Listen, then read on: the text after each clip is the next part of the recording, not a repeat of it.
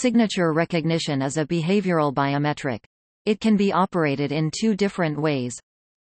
Static – In this mode, users write their signature on paper, digitize it through an optical scanner or a camera, and the biometric system recognizes the signature analyzing its shape. This group is also known as offline. Dynamic – In this mode, users write their signature in a digitizing tablet, which acquires the signature in real time. Another possibility is the acquisition by means of stylus-operated PDAs. Some systems also operate on smartphones or tablets with a capacitive screen, where users can sign using a finger or an appropriate pen. Dynamic recognition is also known as online.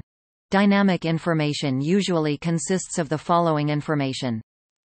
Spatial coordinate x t, Spatial coordinate y t, Pressure P T Azimuth as T Inclination in T Pen up down the state-of-the-art in signature recognition can be found in the last major international competition. The most popular pattern recognition techniques applied for signature recognition are dynamic time warping, hidden Markov models and vector quantization.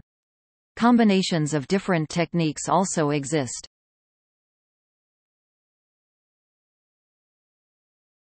Topic: Related techniques. Recently, a handwritten biometric approach has also been proposed. In this case, the user is recognized analyzing his handwritten text see also handwritten biometric recognition.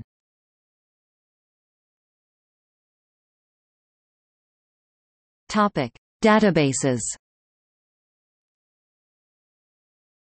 Several public databases exist, being the most popular ones SVC, and MCYT.